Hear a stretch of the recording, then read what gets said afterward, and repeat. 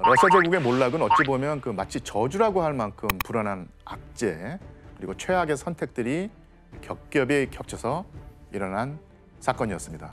러시아 황조의 그 악재와 오판을 상징하는 한 인물이 있었는데요. 바로 러시아 최악의 괴승으로 평가되는 그리고리 라스푸틴입니다. 예. 그러니까 사실 그 라스푸틴의 그 출신을 보면 정말 놀랍습니다. 척박한 시베리아에서 태어난 농민 출신이었고요. 학교를 다니지 못했습니다. 그래서 글도 깨치지 못한 까막눈이었고요. 낮에는 농사일을 하고 예, 밤에는 그 술에 취해서 마을 여자들을 따라다니면서 추파를 던지고 어, 술 마시고 이제 흔적거리는 방탕한 그러니까 주정뱅이에 불과했죠. 그런 사람이 저 거대한 러시아 제국을 막 흔들었다고요? 그렇죠. 예. 그래서 라스푸틴의 코가 약간 크긴 한데 살짝 예, 삐뚤음하거든요. 예. 어, 왜냐하면 술을 마시고 너무 많이 싸우다가 주먹으로 얻어맞아가지고 예, 변형되었다. 이런 말이 있을 정도예요. 정말 코가 삐뚤어지게 마셨네요. 술. 야, 예, 삐뚤어지게 마셨고 예, 그만큼 이 그저 방탕하기로 유명한 인물이었습니다. 러시아에서도 그렇게 많이 배워요. 그러니까 어, 살던 마을에서 소녀들을 막 이렇게 붙들고 키스도 퍼붓고 또 심지어 막 이렇게 단추를 풀고 에? 뭐 어, 이런 행동을 엄청 많이 했다. 요즘에 요즘에 태어났으면 바로 네. 이미 이미. 로드킬 당했죠. 와. 근데 18세에 이제 결혼을 했음에도 불구하고 계속 똑같은 행동을 하- 했던 사람이었어요. 유부남인데. 네, 유부남인데. 아, 근데 그 여자가 넘어가요. 그러니까 인기 있게 생기지 않은. 네, 독일에서도 라스푸틴이 돈 버릇이 나쁜 걸로도 유명하거든요. 그래서 물건도 막 훔치려다가 그때도 얻어맞았는데 네, 이때도 여기 막 아마 보이는 것 같은데 여기 살짝 흉터가 생긴 거예요. 근데 아. 이거 가리려고 머리가 이렇게 이상하게 한 얘기도 있어요. 아 흉터를 아, 가리려고. 그몇 가지 있구나. 아니 교수님 어떻게 이런 사람이 그 러시아 제국을 뒤흔드는 위치까지 올라간 거예요? 예. 마을에서 온갖 문제를 일으키던 문제였던 라스푸틴이 어느 날 그 말을 훔쳤다는 의심을 받습니다. 당시에 그 말은 가장 비싼 재산이거든요. 그래서 말을 훔쳤다는 의심을 받고 마을에서 쫓겨나게 되죠. 이 사건을 계기로 해서 라스푸틴이 그러니까 시베리아 고향을 떠나서 순례길에 오릅니다. 이때부터 그의 인생이 극적으로 변하게 되죠. 그때까지의 방탕한 삶을 회개하고 신에게 귀하겠다는 삶을 살겠다고 어? 굳은 결심을 합니다. 그게 될까? 예, 그래서 사람은 안 변하는데 이렇게 쉽게. 라스푸틴은 자신이 굉장히 특별한 사람이라고 확신을 했고요. 직접 신과 교감하고 싶어 했습니다. 그러니까 이를 위해서 그러니까 러시아 정교가 아닌 다른 종파에도 관심을 가졌는데요. 이때 라스푸틴을 사로잡은 종파가 하나 있었습니다. 바로 흘리스티였는데요. 그러니까 흘리스티는 17세기 말부터 20세기 초까지 러시아에 존재했던 지하 이단 종파였어요. 그래서 이게 흘리스티는 그 죄를 지어야 구원받을 수 있다는 아주 독특한 논리를 가지고 있었어요. 라스푸틴 입장에서는 굉장히 마음에 드는. 딱 맞아 떨어지는 하던 걸 하면 되니까. 그럼 흘리스트의 예배가 어떤 식으로 이루어졌는가 한번 흘리스트의 예배를 묘사한 그림 하나를 볼까요? 네. 이게 뭐지? 어떤 행동을 하고 있는 것 같습니까? 둥글게 둥글게 둥글게도 아니고 예. 뭐예요 이게? 가운데 사람 뭐 하는 거예요? 신이랑 지금 대화하고 있는 그런 예. 행동을 묘사한 거 아닐까요? 이거 살펴보자면요, 이 예배 장소가 교회라든지 성당이 아니죠. 집 예, 아, 그 집. 헛간이라든지 이게 목욕탕이었습니다. 그래서 이곳에서 신도들이 어, 찬송가를 부르면서 그 채찍을 맞고 있습니다. 아 자해를 하는 거예요? 예, 채찍을 뭐 어, 스스로 때리기도 하고 그 다른 사람 때리기도 하고. 그러니까 흘리스트란 말이 러시아 말로 채찍이란 뜻이에요. 아, 이렇게 이게 채찍에 맞으면서 피를 흘리면서 미친 듯이 이게 춤을 췄다는 얘기입니다. 어, 이러다가 분위기가 고조되면 옷을 다 벗어 던지고 어? 성적인 관계를 갖췄다고 알려져 있습니다. 일단 이 흘리스트 그 종파에서는 부부 관계를 포함한 모든 성적인 관계를 죄악으로 규정을 했습니다. 네. 이런 의식을 통해서 적극적으로 죄를 저지른 다음에 신에게 열렬히 회개하면 구원을 받을 수 있다고 생각을 했던 것이죠. 이상하다. 어? 정말 이해가 가지 않네요. 예. 그런데 라스푸틴은 바로 이 흘리스트교의 교리에 얼마간 빠져들게 됩니다. 그것을 받아들이게 되죠. 어, 중요한 사실은 그가 이제 공식 교회와는 거리가 있는 인물이었다는 점입니다. 그 라스푸틴의 행보는 이런 이단 종파에 관심을 가지는데 그치지 않고 어, 자기가 직접 성모 마리아의 계시를 받았다고 선언하기 이릅니다. 그 라스푸틴은 이런 여러 과정을 거치면서 스스로 영적인 깨달음을 얻었다고 그리고 신비한 능력을 얻게 되었다고 주장을 합니다. 아, 그리고 이후에 카잔이라는 곳이 있는데요. 이 카잔의 그 러시아 정교회를 찾아가서 수도사가 되었고요. 이때부터 라스푸틴에게 예언과 치유의 능력이 있다는 소문이 퍼져나갑니다. 그리고 이제 명성을 얻게 되죠.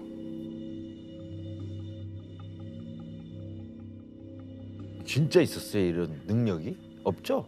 네, 실제로 어, 그 라스푸틴에 대해서 얘기를 할 때 서예 말빨이 좋다고 얘기를 할 수 있을 것 같아요. 그러니까 라스푸틴이 어, 그런 능력을 가지고 있었던 것 같아요. 그러니까 사람을 딱 직관적으로 판단해서 딱 듣고 싶은 말을 들려주는 어, 그런 능력이 있어서 라스푸틴에게 위로를 받으려고 하는 사람들이 많이 이제 왔다고 얘기를 해요. 음, 실제로 어떤 여자가 두 아이를 잃고 너무 슬퍼서 약간 정신이 이상해졌는데 라스푸틴과 함께 앉아서 딱 30분만 얘기하고 제 정신으로 돌아왔다는 얘기도 했어요.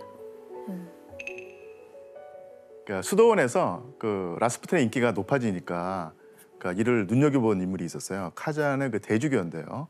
이 대주교가 그러니까 훌륭한 수도사인 라스푸틴을 그 수도, 그러니까 제국의 수도로 보내야 한다면서 이 추천장을 써준 것입니다.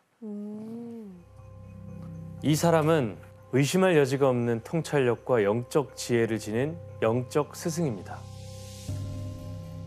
야, 아, 근데 저렇게 믿었다라는 거 아니에요? 예, 그렇습니다. 네, 믿었죠. 예. 그만큼 라스푸틴이 그런 영험한 능력이 있는가는 사실 알 수 없지만 중요한 것은 사람들이 그걸 믿었다는 얘기죠. 그래서 이런 추천을 통해서 드디어 라스푸틴이 러시아 제국의 수도 상트페테르부르크에 진출하게 됩니다. 큰일 났네. 예, 그 상트페테르부르크의 귀부인들이 이 성자라는 소문과 함께 대주교의 추천장을 가지고 나타난 이 라스푸틴이라는 인물을 무척 궁금해하죠.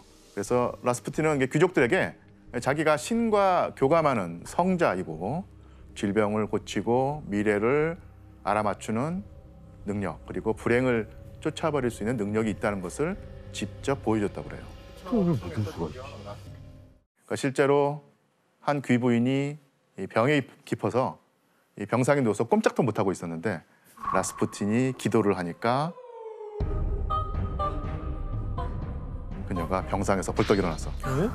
병상에서 벌떡 일어났어. 왜? 정상적인 일상 생활을 할 수 있을 만큼 건강해졌다고 합니다. 그럼 진짜 신인데요? 그러니까 이런 증언과 소문이 서서히 퍼지면서 라스푸틴에 열광하는 귀부인들이 점점 늘어나게 되죠. 이렇게 라스푸틴은 귀족들 나아가서 이제 황족들 사이에서도 점차 영향력을 넓혀갑니다. 아니 근데 약간 이게 라스푸틴 얘기가 퍼지면서 와전이 됐겠죠. 사실 이런 소문들이. 아니 이제 저런 것들을 만약 실제로 내, 앞에, 내 눈앞에서 보여주면 어떻게 안 믿겠어? 믿지. 그렇죠. 그리고 뭔가 심리적인 효과도 있을 것 같아요. 플라시보 효과 같은 거 있잖아요. 하지만 라스푸틴의 야망은 사실은 훨씬 더 컸습니다. 그러니까 일부 귀족의 어떤 지지에 그치지 않고 러시아 제국의 그 정점인 황실에 다가가고 싶어 했던 거예요.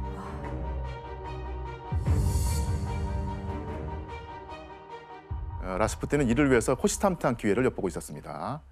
그러니까 이즈음에 러시아 제국의 황제로 즉위한 인물이 바로 니콜라이 2세였던 것이죠. 1905년 1월 수도 상트페테르부르크에서 노동자들이 대규모 시위에 나선 것입니다. 바로 피의 일요일 사건이 일어난 것이죠.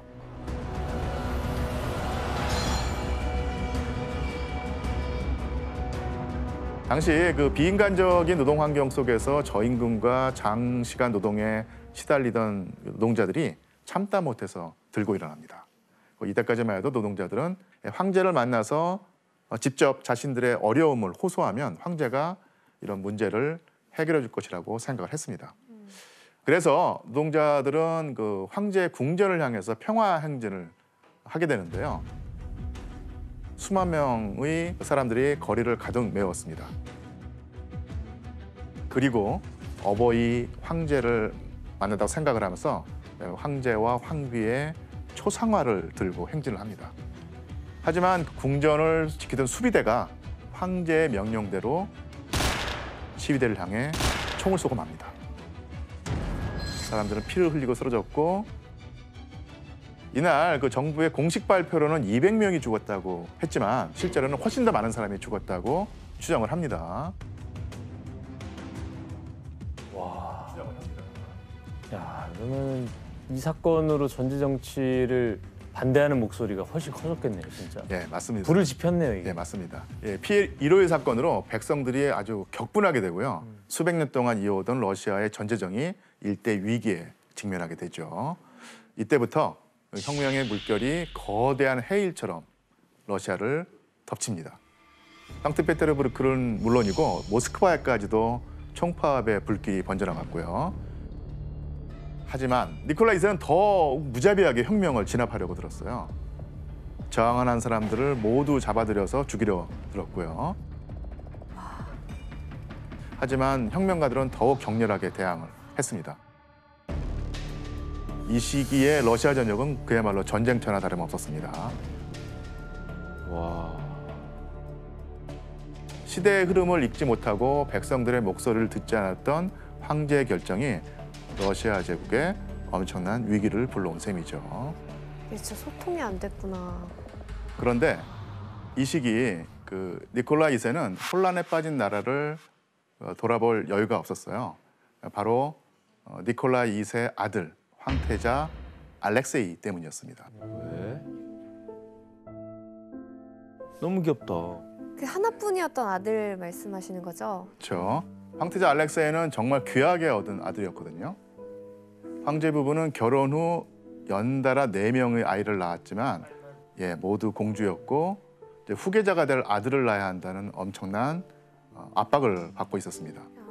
그 러시아 제국에서 황제의 권력이 안정되려면 황제에게는 반드시 건강한 후계자가 있어야 했기 때문입니다.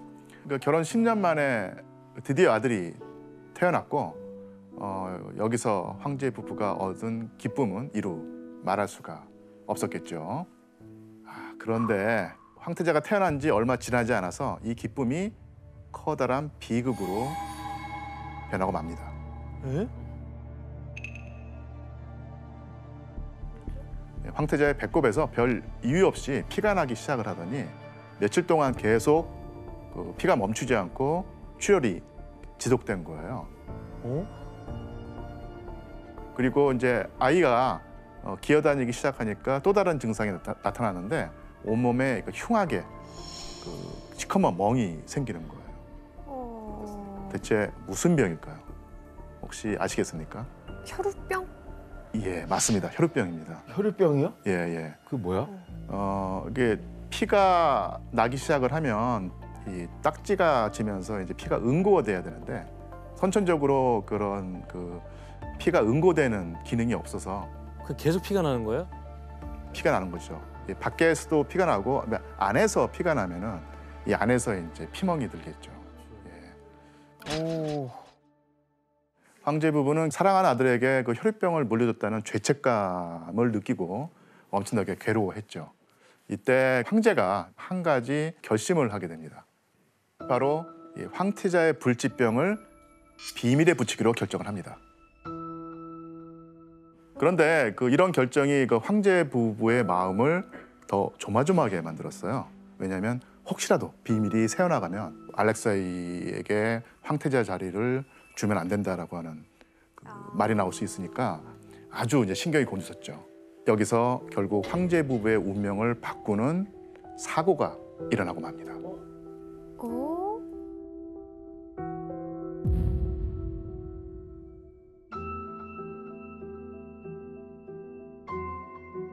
어린 황태자가 놀다가 넘어진 거예요. 어 큰일 나는데. 예, 그래서 다른 아이들 같으면 뭐 잠깐 울다가 일어났겠지만 이 혈병 환자였던 황태자에게는 생명을 위협하는 중대 사고였습니다.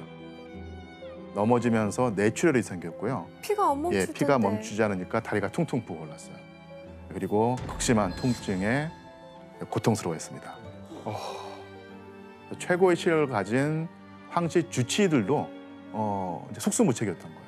어찌할 바를 몰랐던 얘기죠. 그저 그냥 진통제를 주는 것밖에는 어, 달리 답이 없었습니다. 그래서 이 황제 부부는 아들을 고통에서 구해줄 성자를 보내달라면서 이제 기도를 했습니다. 잠깐만 이 흐름이라면 예. 위험한 성자가 올 거고 우리가 경계하는 그 분이 올 것 같은데 규현 씨, 수염 많이 난 사람? 그 분이 올 것 같은데. 규현 씨 드라마 많이 보는 거예요. 예, 맞습니다. 이때 황제 부부 앞에 불려온 인물이 있었으니 바로 괴성 아, 라스푸틴이었습니다. 아니야. 어, 라스푸틴. 아 이때 등장을 했구나.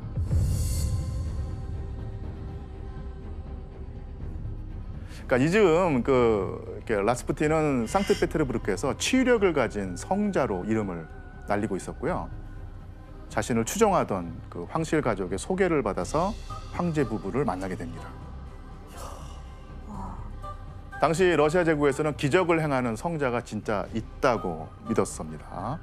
이때 라스푸틴은 마치 그 진짜 성자처럼 신비로운 말을 늘어놓으면서 사근사근하게 다가가면서 호감을 얻었고요. 어, 라스푸틴을 두고 아, 우리가 찾던 성자라고 생각을 하면서 기뻐했다고 합니다. 이렇게 넘어갔네. 결국 국가기밀인 황태자의 혈병까지 라스푸틴에게 털어놓게 되는 거예요. 그러니까 이때부터 라스푸틴은 황태자가 아플 때마다 궁에 불려와서 알아놓은 황태자의 침대 머리맡에서 열렬히 기도를 하게 됩니다. 라스푸틴이 기도를 마친 다음 날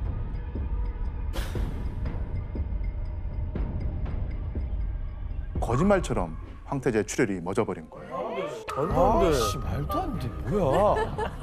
이런 우연이 있을 수 있어요? 어, 실제로 그랬습니다. 라스푸틴이 어떤 방법으로 황태자의 출혈을 멈췄는지는 지금까지도 그 미스터리예요. 근데 정말 미스터리한 일인데 어, 여러 가지 다양한 썰들이 있어요. 그 중에 하나는 바로 그 당시에 황태자 알렉세이는 아스피린을 복용했다는 게 있어요. 근데 아스피린은 피가 조금 더 잘 나오게끔하는 효과를 가, 가지고 있는데 라스푸틴은 그거 모르면서도 아스피린을 중단시켰대요. 그래서 아스피린 보- 복용 중단시켰기 때문에 출혈이 덜 나고 이제 벼로병이 덜 효과가 나타내지는 그런 효과를 봤던 것도 있고 그게 다인지 아닌지 우리가 알 수가 없어요. 그래서 황태자가 아플 때마다 황제 부부는 라스푸틴에 대한 믿음을 더욱 이제 강하게 가지게 됩니다. 참나. 그래서 한 번은 라스푸틴이 그 수도 상트페테르부르크를 떠나서 다른 곳에 있을 때 또 황태자가 이제 피를 흘려가지고 그 죽기 직전까지 갔던 일이 있었어요. 이런 상황에서 죽음을 예감한 황제 부부가 어, 성직자를 불러서 황태자의 그 사망 미사를 치를 정도로 아주 위독한 상황이었습니다. 음, 그런데 이때 어, 라스푸틴이 기도를 하니까 또 위독하던 황태자가 기적처럼 살아난 거예요. 기적처럼. 죽길부 직전까지 가. 예, 예. 의사도 손을 놓은 상태에서 말이 돼? 죽을 뻔한 아들이 기적처럼 치유되는 그 상황을 접하게 된 황비의 눈에 라스푸틴이 어떻게 보였겠습니까? 진짜 뭐 신의 뭐 대리인이다. 저 성자죠, 그렇죠. 예, 예. 성자. 이 알렉산드라 황후는 하나님께서 러시아 황치를 지키기 위해서 라스푸틴이라는 성자를 보내줬다고 굳게 믿게 된 것이죠. 어, 그래서 라스푸틴을 자주 불러서 황태자와 함께 있게 하고 아들의 목숨을 구해주는 유일한 존재로 여기면서 간절하게 매달리게 됩니다. 근데 자기 아들이 죽다 살아났으면 그렇게 믿을 수 있을 것 같아요. 충분히 예. 예, 그런 상황에서 어떻게 한 무슨 짓을 한 거야? 라스푸틴은 황태자를 치유한다는 명목 아래 예, 황비와 자주 대화를 나누면서 이 불안한 황비의 마음을 파고들게 되죠. 잠깐만, 잠깐만. 이런 흐름이라면 와. 황비와의 부적절한 관계가 있었겠네요. 어, 어, 소름이 돋습니다. 이거 드라마인데 그냥. 예. 그런데 이때 라스푸틴이 그 황비의 죄의식을 자극했다는 그 주장도 있어요. 아들이 불행해진 것은 어머니가 죄를 지었기 때문이다. 이런 식의 말을 했던 것이죠. 어, 그리고 이때 괴로운 황제의 마음에도 깊숙이 파고들어서 황제의 신뢰까지 얻게 되죠. 그래서 니콜라 2세가 즉위 이후부터 그 정치면 정치, 전쟁이면 전쟁 어느 것 하나 뜻대로 되는 게 없었어요. 그래서 마음이 불안하고 괴로울 수밖에 없었죠. 흔들리지 않은 지지가 필요한 상황이었습니다. 그리고 황제가 믿음을 가진 대상은 바로 백성들이었어요. 러시아 제국의 순수한 그 순진한 백성들은 여전히 황제를 아버지로 모시면서 지지하고 사랑한다고 예, 믿고 싶었던 것입니다. 그런데 라스푸틴이 멀리 저 시베리아에서 온 농민 출신의 수도사였잖아요. 네. 그래서 황제의 눈에는 이 라스푸틴이 순수한 백성들의 목소리를 자기에게 전하는 성자로 보였던 것입니다. 예. 라스푸틴 말만 듣겠네요. 그럼. 예. 이 상황에서 라스푸틴은 수시로 이제 황궁에 드나들면서 황제 가족을 장악했습니다. 당시 한번 사진을 볼까요?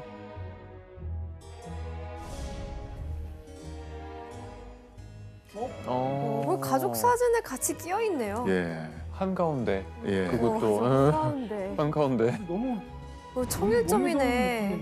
그래서 라스푸틴과 황비 그리고 공주 네 명 황태자의 모습인데요. 라스푸틴은 이 공주 네 명의 마음도 사로잡았어요. 뛰어난 언변으로 공주들의 고민을 상담해주면서 친해졌던 것이죠. 네 명 다. 그, 그 사람들 마음속에 들어가서 심리적으로 막 조종을 한 거네요. 예. 그 어느 날부터 라스푸틴이 그 황실을 그 수시로 드나드는 모습이 사람들 눈에 띄고요. 황제 부부와 친하다는 사실이 알려지면서 라스푸틴에게 잘 보이고자 하는 사람들이 음, 점차 늘어나게 되죠. 그러겠죠. 예. 여기에는 그 라스푸틴의 허풍도 한몫을 했는데요. 황제 부부가 자기를 믿고 따른다 하고 이제 떠버리고 다닌 겁니다. 그러니까 사람들은 라스푸틴에게 로비를 하려고요. 뭐 돈, 그다음에 귀한 포도주, 뭐 그다음에 고급 양탄자 이런 각종 뇌물을 들고 라스푸틴의 집 앞에서 줄을 서고 했단 얘기죠.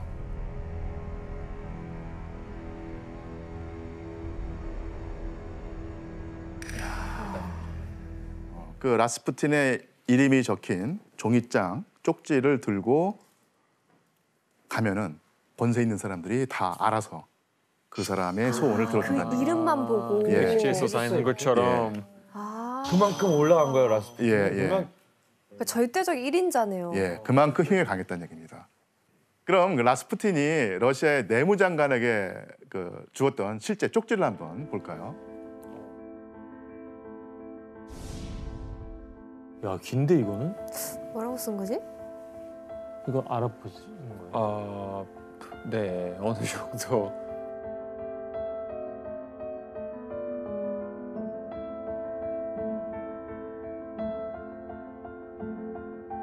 예, 글씨를 보니까 어- 어떤 느낌이 드나요? 이게 악필이다? 예, 잘쓴 글씨는 아니죠. 네. 그러니까 나이가 들어서 그 글을 배운 데다가 예, 급하게 휴가를 쓰느라고 글자는 더 엉망이었던 거예요. 어, 그리고 여러분 저기 맨 밑에 있는 말이 이제 그리고리, 그러니까 라스푸틴의 이름이 라스푸틴의 그리고리인데. 그게 서명이죠. 저 서명이 들어가면은 엄청난 힘을 발휘했다는 얘기입니다. 심지어 라스푸틴은 각종 그 청탁 서류들을 황제 부부에게 직접 가져가서 부탁을 하기도 합니다. 어, 그러면 황비는 황제를 재촉해서 빨리 말을 들어주가면서 라스푸틴의 부탁을 대부분 들어줬어요. 와. 어, 라스푸틴은 그 이런 청탁을 들어준 대가로 어마어마한 뒷돈을 챙겼죠.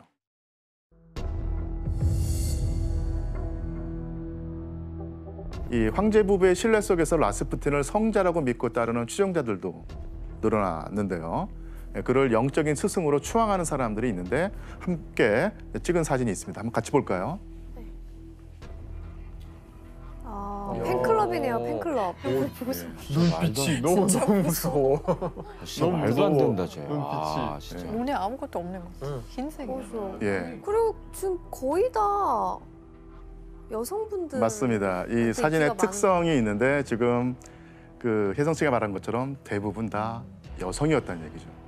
라스푸틴은 자기를 따르는 여성들을 뭐라고 불렀을까요? 성녀. 아, 성녀 아닙니다. 꼬마 아가씨들. 어, 꼬마 아가씨들. 어, 뭐야 그게? 와 소름. 대체 왜 이렇게 수많은 여성들이 라스푸틴에게 속수무책으로 빠져들었을까요? 예, 궁금증이 생기는데요. 마음이나 몸에 그 병이 있는 여성들이 라스푸틴을 찾아가면 그 비밀 이야기를 다 들어주고 예, 기도해주면서 마음에 안정을 주었기 때문입니다.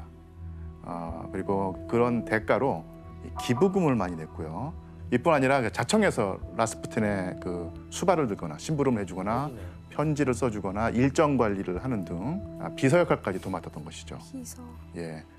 그런데 그 라스푸틴은 러시아 제국에서 자기의 영향력이 커지니까 묘한 행동을 합니다. 바로 자신의 명성을 이용해서 온갖 여성들과 문란한 관계를 맺는 것이죠. 그럼 이때 니키 씨가 알고 있는 그 밤의 마술사라는 별명이 음 거기서 나온 것 같아요. 밤에만 마술을 하나 봐요? 밤인지 모르겠는데 일단 많은 여성들과 일단 밤 보내긴 했어요.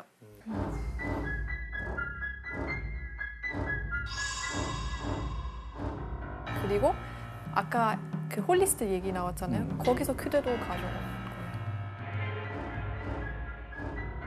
그냥 사이비 교주가 맞는 표현이네요. 예. 근데 뭐 이렇게 막는 사람이 없었어요? 예, 당연히 여기저기서 말이 나올 수밖에 없겠죠. 교회도 라스푸틴을 이제 비난을 했는데, 네, 교회 지도자들이 라스푸틴이 이단 종파에 빠져 있다. 그리고 수녀를 유혹하고 강간하려 했다고 비난을 하고, 그러니까 신도와 집단 난교를 한다고 주장을 했습니다. 그러니까 신문에서는 일제히 라스푸틴을 사기꾼이라고 비난을 하죠.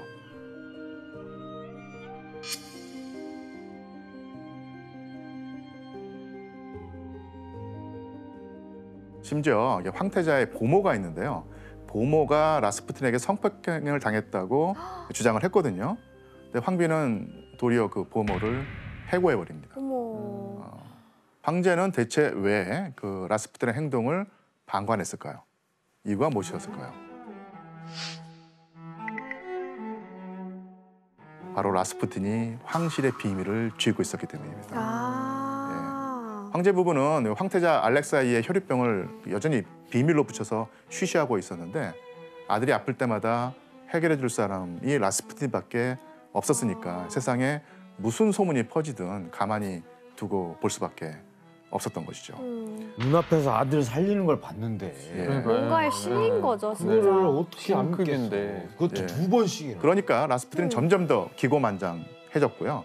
황제 부부가 자기를 지켜줄 거라고 믿으면서 아주 안하무인으로 행동을 합니다. 그 상황이 이렇게 되자 라스푸틴을 감싸는 황제 부부에게 불만이 생겨나고 이게 점점 더 커지게 됩니다. 네, 가뜩이나 여론이 좋지 않은 가운데 그 라스푸틴으로 말미암아서 황실의 권위가 땅에 떨어지는 사건이 벌어지는데요. 바로 알렉산드라 황비가 라스푸틴에게 보낸 편지가 신문에 폭로되었어요. 어이?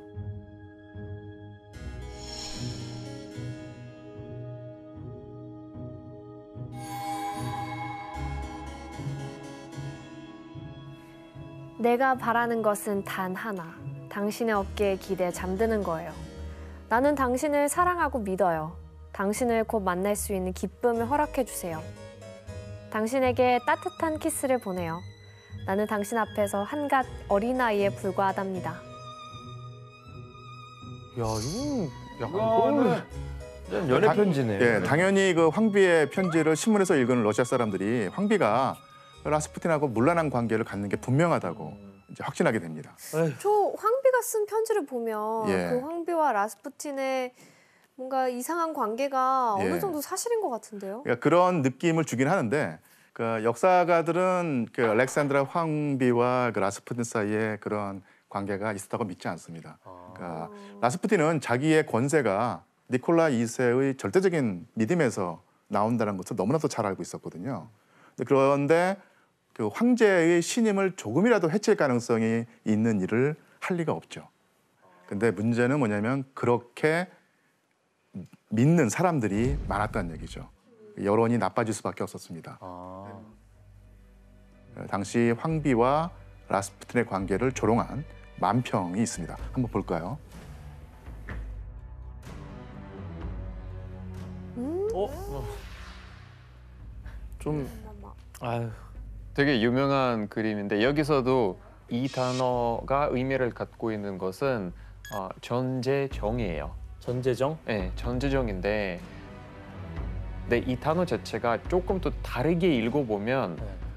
혼자서 받들다, 손에 들다라는 뜻을 갖고 있는 단어예요. 네. 그래서 실제로 러시아 사람들이 조롱하는 게 라스푸틴의 황비의 가슴을 손에 들고 있다라는 뜻으로 이제 말 장난을 하면서 조롱을 했던 거죠. 음. 아니, 니키 씨. 네. 라스푸틴과 황후 관련된 노래도 있어요? 아, 네 맞아요. 아마 다들 좀 한 번쯤 들어봤을 것 같은데 보니 엠이 부른 노래 있거든요.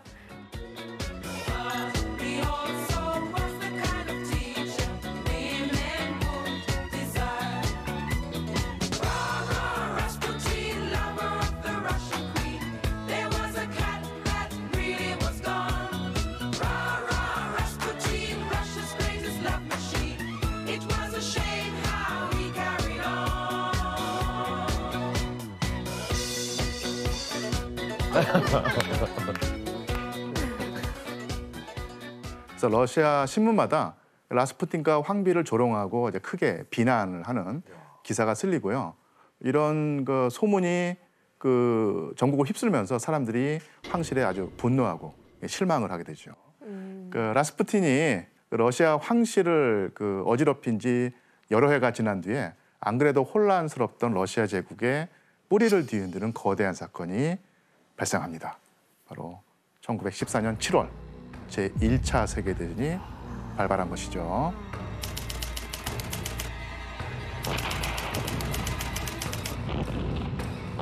독일이 오스트리아와 손을 맞잡고 전쟁 준비를 시작합니다.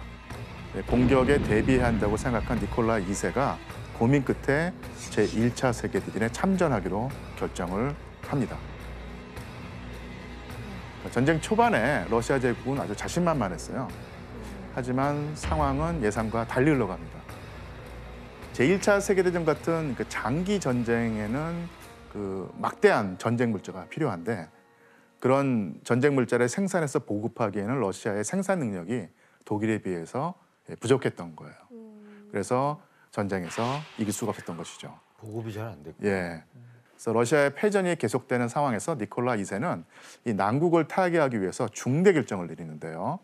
그리고 이 결정은 흔들리던 러시아 제국을 그야말로 벼랑 끝까지 몰고 가게 됩니다. 니콜라 2세가 내린 최악의 결정은 무엇이었을까요? 최악의 결정? 바로 그 기존의 총사령관을 해임하고요. 황제 자신이 직접 총사령관이 되어서 동부전선으로 가기로 한 거예요. 왜 그랬지? 무슨 자신감이야? 사실 니콜라이 2세의 결정도 했지만 단독으로 내린 결정은 아니었고요. 배후에는 바로 라스푸틴이 있었습니다. 어... 라스푸틴은 당시 러시아군의 그 총사령관과 아주 사이가 나빴는데 황비가 어, 라스푸틴과 사이가 나쁜 총사령관을 해임해야 한다고 계속 주장을 했고요. 황제는 이 황비의 이야기를 그대로 받아들인 거예요. 게다가 어, 니콜라 2세 역시 제1차 세계대전에서 승리하기 위해서는 황제인 자신이 직접 전쟁터에 있어야 한다고 굳게 믿었던 것이죠. 라스푸틴은 이런 황제의 심리를 읽고 예언을 하기도 합니다. 폐하께서 군 통수권을 장악하는 순간 모든 전선에서 승리를 알리는 종이 울릴 것입니다. 승리한다고 예언까지 해주니까 황제가 이제 확신을 가지고 정말 수도를 내버려두고 전쟁터로 가지게 된 것입니다. 그 황제에게 듣고 싶은 말을 해준 거네요. 그렇죠. 황제가 총사령관이 되어서 수도를 떠나서 전선으로 간다는 것은 러시아 제국의 정부 통치를 황비의 영향 아래 두는 것이고 이것은 곧 라스푸틴의 손에 러시아의 운명을 맡긴다는 뜻이었죠. 자 그러면 황제가 이 수도를 비운 사이에 러시아의 국정은 어떻게 됐을까요? 황비와 라스푸틴의 손아귀에 떨어진 거죠. 아, 지금 그 예상한 대로 황비는 라스푸틴 말만 듣고 유능한 대신들을 다 해임하고 무능한 인물들을 중요한 자리에 임명합니다. 그 중에는 국정을 이끈 총리는 물론이고 전쟁 중에 국방을 책임지는 국방 대신, 러시아의 주요 산업인 농업을 담당하는 농업 대신까지 있었죠. 라스푸틴이 뭐 불만스러운 기색을 보이기만 하면 금세 한 대신의 목이 댕걱 날아가 버리는 거예요. 또 어, 라스푸틴이 추천하면 바로 추천서를 쓰고 황제에게 어, 보내는 것도 황비가 다 어, 들어줬대요. 그리고 황비는 그 황제가 멀리 그 군사령부에 있는 동안 라스푸틴의 말을 전하기 위해서 거의 매일 심지어는 하루에도 몇 번씩 황제에게 그 편지를 써보냈죠. 예, 황제 부부가 전쟁 기간에 주고받은 편지와 전보는 약 1,600통에 다다릅니다. 야. 당시 그 황비의 편지를 혜성 씨가 한번 읽어봐 주시겠어요? 네.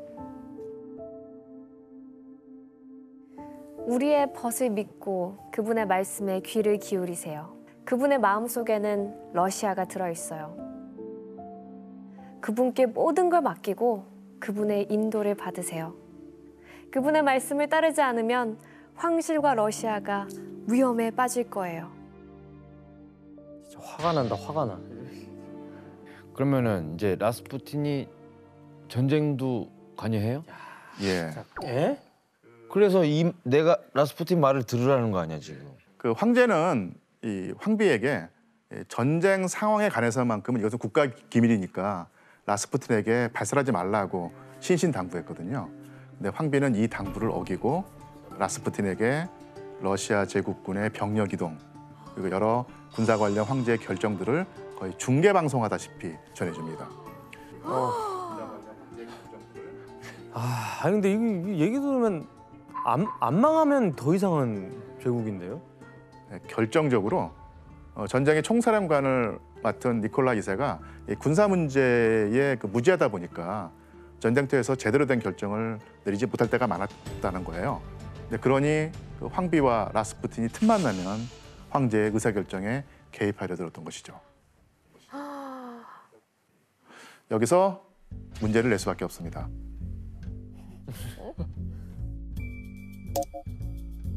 황비는 황제가 전쟁 중에 좋은 결정을 내릴 수 있도록 돕는다면서 어떤 물건을 보내는데요. 이것은 무엇일까요? 머리, 머리카락 이것과 연관된 것입니다. 머리요? 정답. 예, 일리아 씨. 라스푸틴의 빚.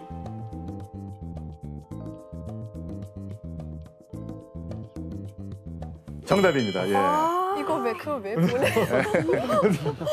왜? 보냈다고요? 이게 바로 라스푸틴이 사용하던 그 빗인데요. 성스러운 거라고요? 예, 빗에는 그 라스푸틴의 긴 머리카락이 치렁치렁 예, 감겨 있었어요. 어우!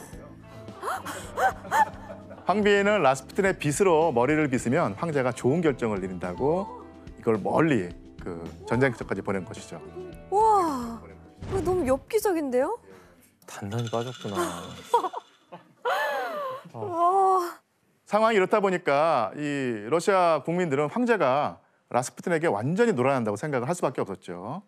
당시 니콜라 2세와 황비를 비판하는 만평을 한번 볼까요?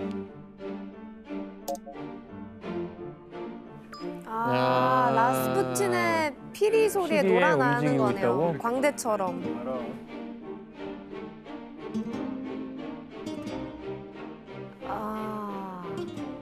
황제가 라스푸틴한테 요리를 갖다 바치네요. 그리고 그 옆 사진은 황비이겠죠? 왼쪽에 있는 만평의 아래에 있는 글귀는 라스푸틴의 하인입니다. 그리고 오른쪽 밑에 있는 글귀는 알렉산드라 황비의 사랑 고백입니다. 황제는 하인, 황비는 라스푸틴의 애인이라고 조롱을 한 것이죠. 아니, 이 정도인데 왜 모르지? 그 사람들은 라스푸틴과 황비가 작당을 해서 아예 러시아를 어지럽힌다고 생각을 했고 어, 심지어 독일의 공주 출신인 황비가 독일의 스파이가 아닌가라고 이제 의심을 하기까지 했어요. 그러니까 심지어 제1차 세계대전이 러시아를 독일의 노예로 만들기 위한 음모라는 소문까지 돌게 되고요. 이런 황당한 소문을 사실로 믿을 만큼 이 시기에 황실에 대한 민심이 땅에 떨어졌던 것입니다. 그래서 황족들이 황비를 찾아가서 상황을 바꾸려고 한번 애써봅니다. 하지만 황비는 귀를 닫고 아무 말도 듣지 않으려고 했어요. 이제 러시아 제국의 황족들에게는 어떤 결단이 필요했어요. 그 주동자는 바로 펠릭스 유스포프 공작인데요. 자, 그 유스포프가 과연 어떤 조치를 취했을까요? 바로 라스푸틴을 자기의 저택에 초대해서 독살하기로 한 거예요.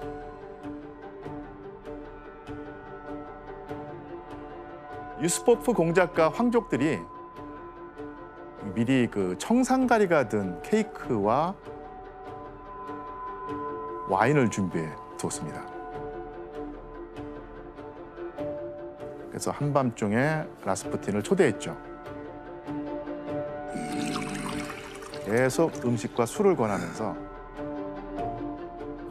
어, 청산가리 케이크를 건네주었습니다.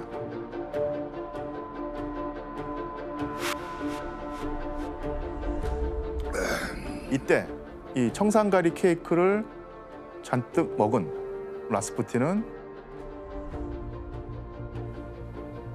끄떡도 하지 않았던 거예요. 예. 아니? 뭔데 이게 말이 안 돼. 독을 먹었는데 어떻게 예, 심지어 청산가리가 든 그 와인까지 여러 잔 들이켰는데요. 어, 아무렇지도 않다는 듯이 계속 이 수다를 떠는 거예요. 와 이거 진짜 미스테리한데요? 그러다가 그 구석에 놓여 있는 기타를 발견하고요. 유스포프 공작에게 신나는 노래를 불러보라고 합니다. 그리고 음악 감성을 하죠.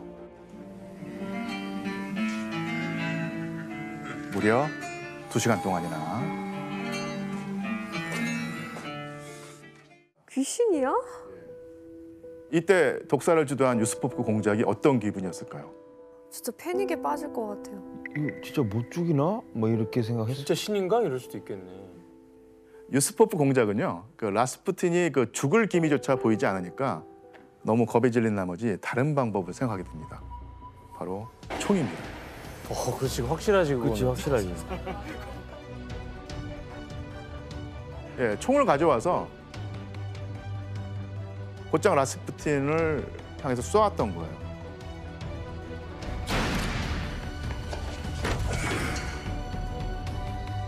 어 이번에는 어떻게 됐을까요?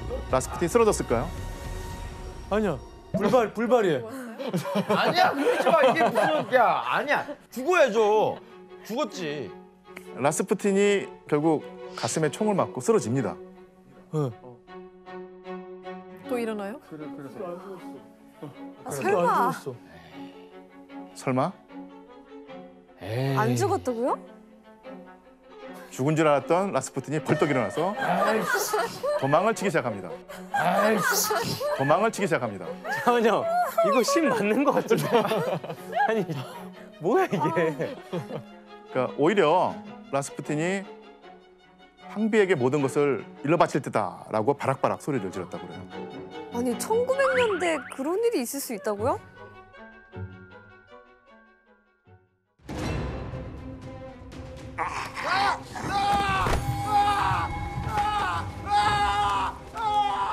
황족들이 더욱더 공포에 질립니다.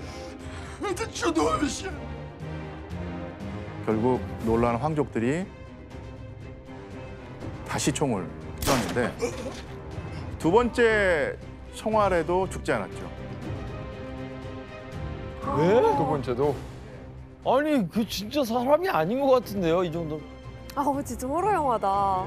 네, 와. 결국 이 황족들이 라스푸틴의 이마 한가운데 총을 맞춘 거예요. 그제서야 쓰러져 죽습니다. 와. 황족들은 죽은 라스푸틴의 두 손과 두 발을 밧줄로 꽁꽁 묶어서 강에 내다 버립니다.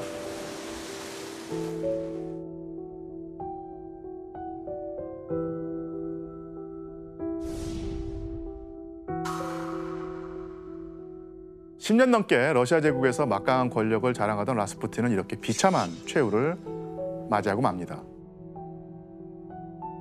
근데 이 라스푸틴이 워낙 대단한 사람이었으니까 이 그쵸. 죽음을 둘러싸고 루머도 엄청 많았을 것 같아요. 소문이 엄청 많았고요. 그 중에 하나가 이제 라스푸틴이 유수포프를 성희롱했다고 어, 하는 소, 소문이 있고 여기 이제 분노한 어, 유수포프 공작이 어, 라스푸틴의 그 중요한 부위를 절단하고 어, 그게 바로 이제 박물관에 지금 준시되어 있다는 어, 그런 소문까지도 있습니다. 야. 사실 모든 악의 원흉처럼 저희가 지금 느낀 라스푸틴이 없어졌으니까 예. 정신을 좀 차리셨네요, 황제 부부는. 황제는 전쟁에서 연일 패배하고 황비는 시시때때로 라스푸틴의 무덤을 찾아가서 슬퍼하기에 바빴고요. 그러니까 이제 국정이 제대로 돌아갈 리가 없겠죠. 이제 러시아 전역에서 황실에 대한 분노가 아주 그냥 솟구칩니다. 아, 진작 나왔어야 했어요. 라스푸틴이 죽은 뒤 불과 석 달 뒤에 러시아에는 혁명의 물결이 일어납니다.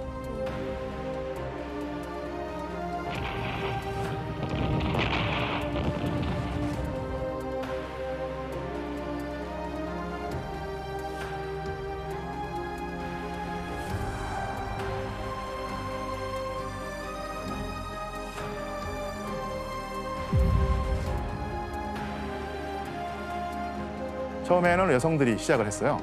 그 굶주린 백성들에게 그 빵을 달라는 목소리를 냈고요. 그리고 시민과 공장 노동자들이 합세를 합니다. 거리에는 붉은 깃발, 현수막이 휘날렸고요. 황제는 물러나라, 전쟁을 끝내라 이런 구호가 거리에 넘실거립니다.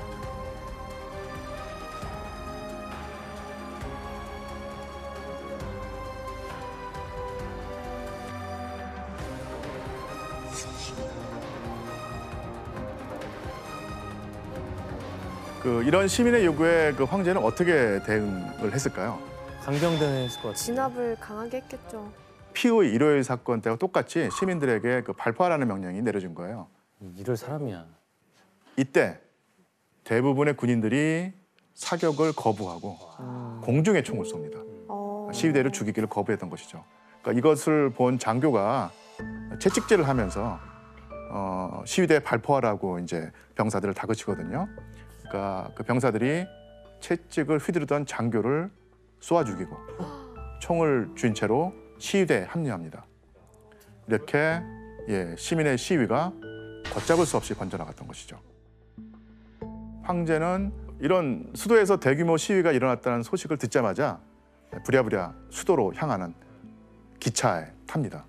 결국 니콜라 2세는 기차 안에서 중대한 성명서를 작성합니다. 어... 성명서의 내용은 바로 황제 자리에서 물러나겠다 이것이었어요. 아...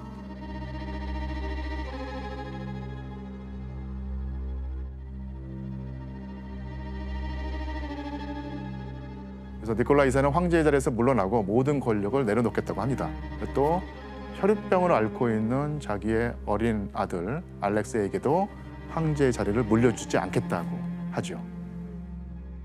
그러니까 이렇게 그 300년을 이어오면서 세계를 호령하던 러시아의 로마노프 황조가 마침내 종말을 고하게 됩니다.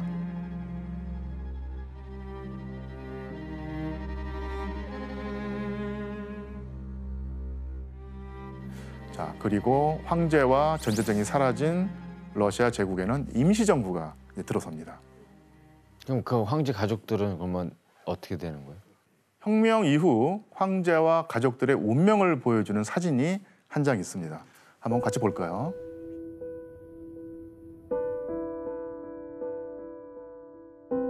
뭐야? 벽을 부순 거예요? 황제의 집이에요? 이게 니콜라 2세와 가족들이 총살당한 지하실의 모습입니다. 총살당. 예, 그러니까 저 벽이 부서진 것이 바로 총에 맞아서 총탄 자국이죠. 아... 니콜라 2세의 본인과 그 가족에게 왜 이런 비극이 벌어졌을까요? 이제 일반인이 된 니콜라 2세와 가족들이 그러니까 수도에서 멀리 떨어진 그러니까 우랄 지방으로 이제 이송됩니다. 그런데 몇 달 뒤에 혁명 세력과 반혁명 세력 사이에 내전이 벌어지게 됐던 거예요. 어, 이런 상황 속에서 황제 일가의 목숨이 아주 위태로운 상황에 놓이게 되죠. 니콜라 2세가 살아 있으면 반혁명 세력의 어떤 구심점이 될 수 있죠. 그 살아 있는 황제를 중심으로 다시 뭉칠 수 있으니까요. 음. 네, 결국 혁명 세력들이 결단을 내립니다. 예, 황제를 살려두면 안 되겠다 해서 황제 가족들을 한밤중에 지하실로 불러냅니다. 그리고 황제와 가족들이 영문도 모르는 상태에서 모조리 총살을 했던 것이죠.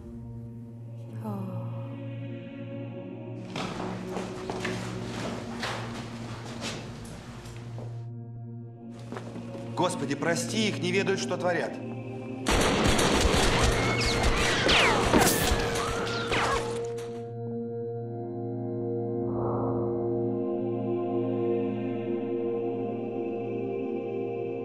그러니까 전 세계를 호령했던 러시아 제국의 황제가 이렇게 핏자국으로만 남겨진 셈입니다. 그리고 이 황실 가족들의 시체는 아무도 모르게 이렇게 유기가 되었어요. 아, 여기서 그 라스푸틴이 죽기 전에 그 죽기 직전에 황제 부부에게 쓴 편지가 있어요. 저는 1917년 1월 이전의 생을 마감할 듯한 예감이 듭니다. 만약 제가 평민 암살자, 특히 제 형제인 러시아 농민의 손에 죽는다면 폐하는 우려하지 않으셔도 됩니다. 폐하의 자녀들은 수백 년을 군림할 것입니다. 하지만 만약 저를 죽이는 자가 폐하의 친족이라면 폐하의 자녀 어느 누구도 두 해 넘게 살아남지 못할 것입니다. 뭐야 이것도. 러시아의 황제이신 폐하는 러시아 백성의 손에 죽을 것이며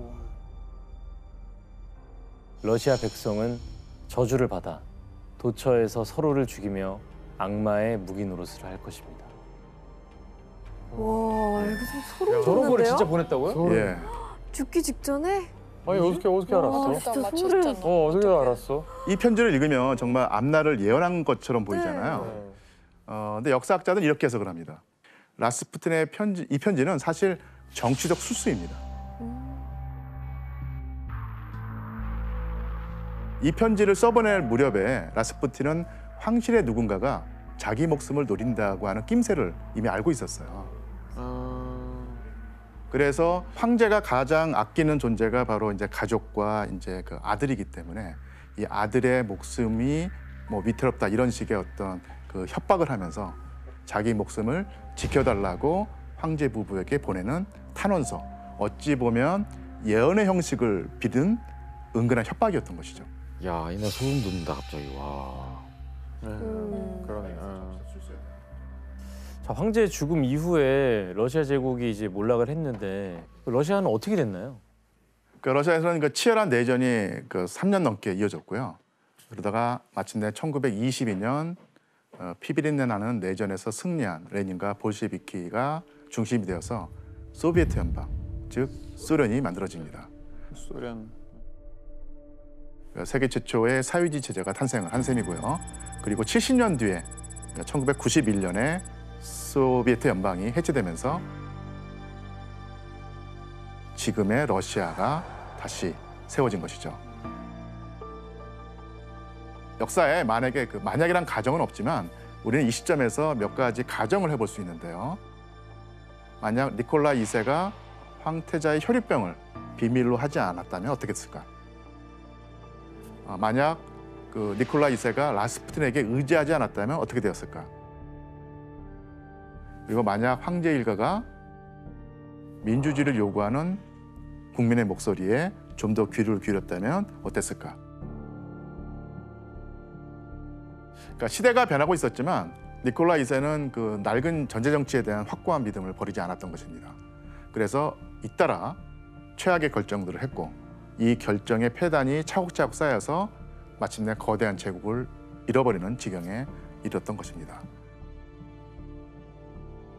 그러니까 역사의 흐름을 읽지 못하는 체제는 언제나 비참한 최후를 맞이해왔고요.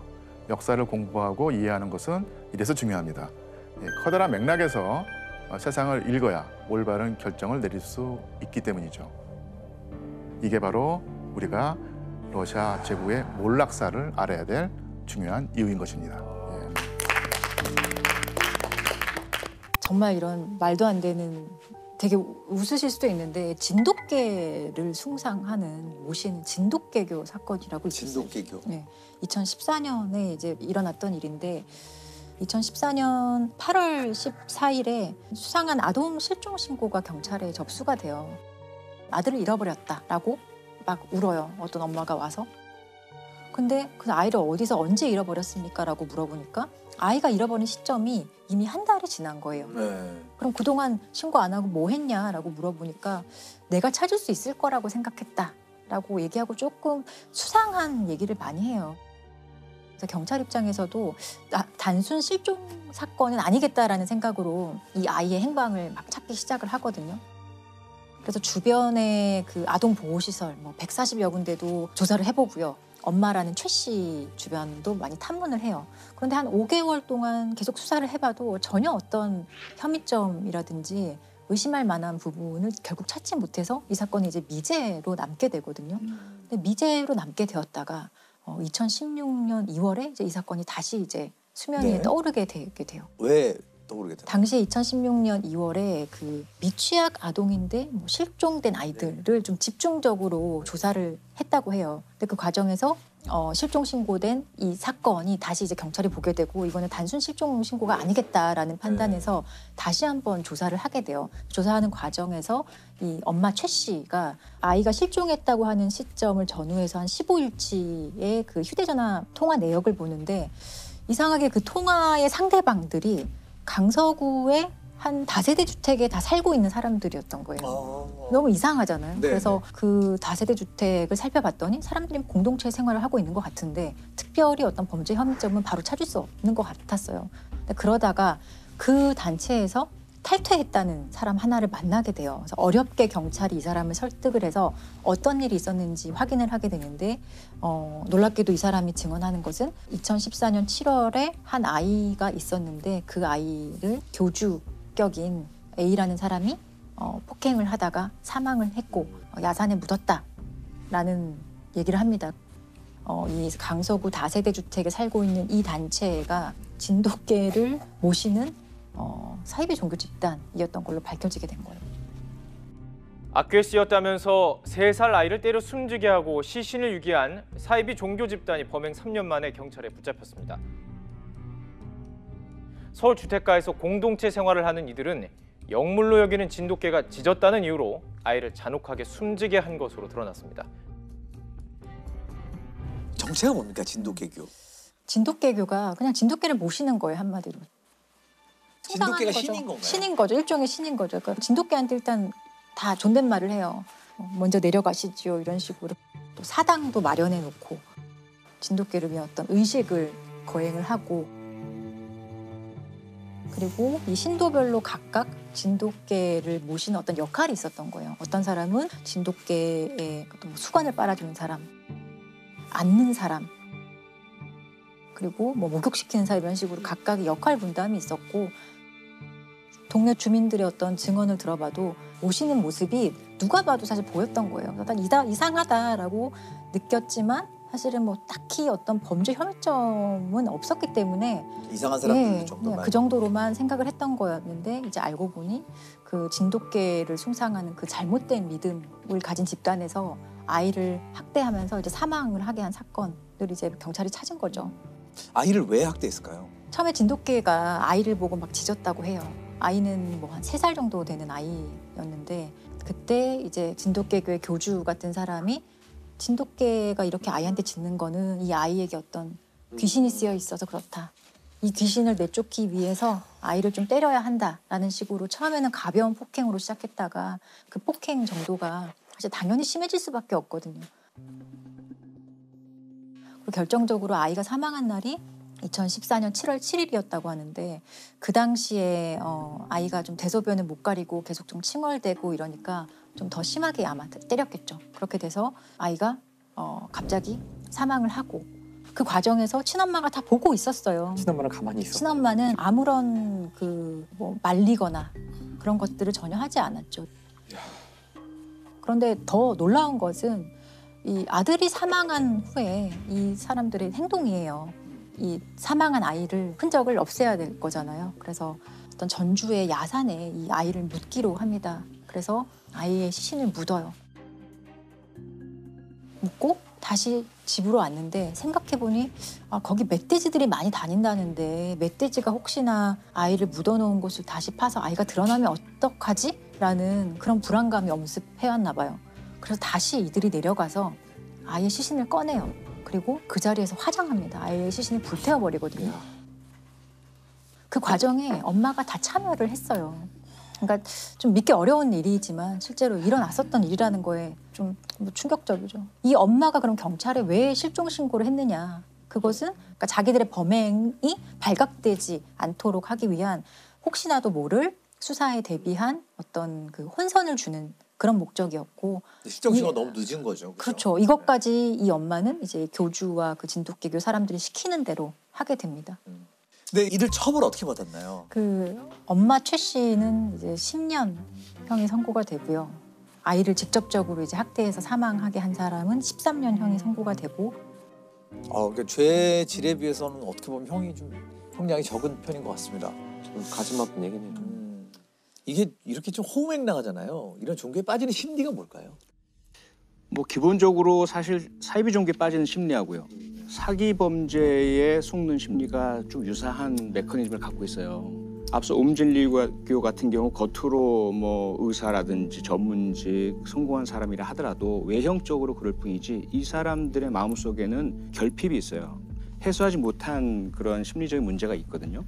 여기 두 번째 상황적 요인이 겹치게 됩니다. 예를 들자면 뭐 옴질리교 같은 경우는 일본의 95년 당시의 그 시대 상황이 있고 거기에 전반적인 삶에 대한 의미의 상실이라든지 뭔가 새로운 돌파구를 찾는다든지 여기에 세 번째 이러한 상황을 노리는 이 범죄자들 사이비 종교의 교주나 혹은 사기 집단이나 어, 아주 촘촘하게 짜여진 전략이 들어갑니다.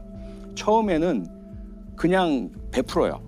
당신 힘들지. 내가 들어줄게. 라든지 또는 그들이 갖고 있는 어떤 자존감, 낮은 부분들, 어, 인정받고 싶은 욕구를 건드려주죠.